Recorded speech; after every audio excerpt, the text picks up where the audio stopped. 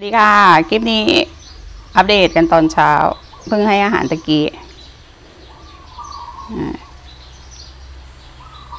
เรามาดูกันว่าปัญหาของแมลงแตกไซส์เกิดจากสาเหตุอะไรบ้างนะคะหลักๆเลยคืออากาศนะคะเพื่อนๆอากาศที่จะทำให้แมลงแตกไซส์นะตอนเช้าเนี่ยอากาศ 27-28 องศา แล้วก็เป็นอาหารใหม่เพิ่งเติมลงไปให้ก็จะกินดีมารุมมาตุ้มกันอย่างนี้ภาพบรรยากาศ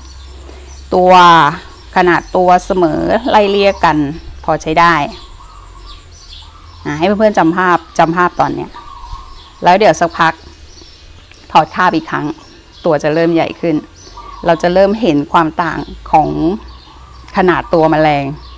จะเริ่มเห็นการแตกไซส์ที่ชัดเจนขึ้นอ่า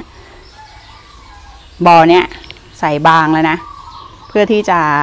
ลดในเรื่องของการแตกไซส์ด้วย แล้วก็ลดปัญหาในเรื่องความร้อนภายในบ่อด้วยนะเราดูกันว่า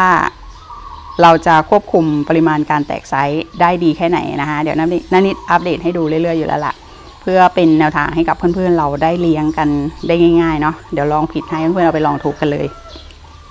ถาดอาหารถาดน้ำใส่ให้อย่างนี้นะตัวก็ใส่ปริมาณที่พอดีกับบ่อแล้วก็ตอนนี้ขนาดตัวถือว่าไล่เลี่ยเดี๋ยวเราตามกันดูอีก ในช่วงที่เขาถอดถอดคาบแล้วตัวใหญ่ขึ้น ตามทุกระยะนะคะว่าเราจะสามารถลดการแตกไซส์ได้มากน้อยแค่ไหน